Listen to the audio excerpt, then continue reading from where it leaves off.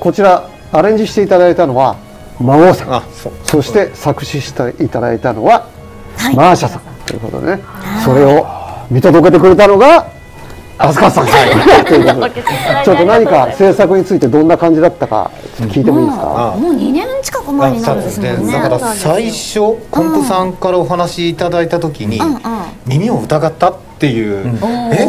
っていう驚きがあり、でえ歌ってもらうのはっていうのもあって、ね、でちょっともうこちらとしてももういや外せないよねって言って魔王にプレッシャーかけまくって親子にかけまくってっていう これ結構そんな状態でした大変だった。あの、まあ、いつも真剣にあのアレンジ作ってますけど、うん。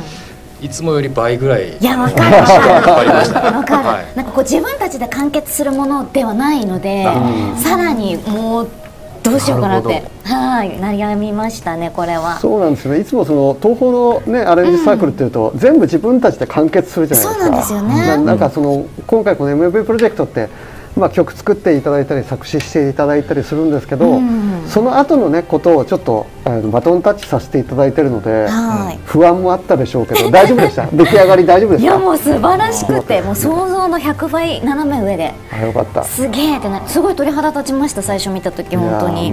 コンプさんがねちゃんとディレクションしていただけるとでわざわざ北の地まで行ってみたいな話であったので。そうなんですね、はい、レコーディングがね自分はあの安心していました、あとはもう本当作詞はねマーシャにやってもらって、うん、マーシャにも頑張ってっていう。そうなんですよ。もう島宮さんの楽曲聴きながらいやこんなこと言ってこういう歌詞だったらすごいハマるかなとかめちゃめちゃ考えてこれは書かせていただきました。島宮さんもねあのとても楽曲も気に入っていただいて、うん、あの全然レコーディングもそうそうそんなね難航することなく、あのやっていただいてあのすごいマッチしてますよね歌声ともやっぱり。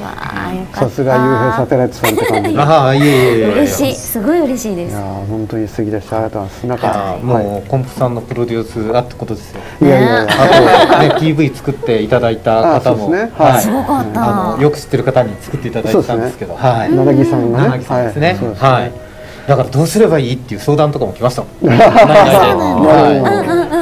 でかなり気合い入れるからっていういやなんか雄平さんの、ね、曲もう一曲「え月を思う時」っていうのがあるんですけど、はいはい、どの曲もやっぱり雄平さん節というかね、らしさが、はい、あの歌詞の世界観にもサウンドにもアレンジにもあるのでね、あの一聴しては雄平さんの曲だなってわかるんですごいなと思っております。感謝です。感謝です。そう言っていただけると嬉しいです。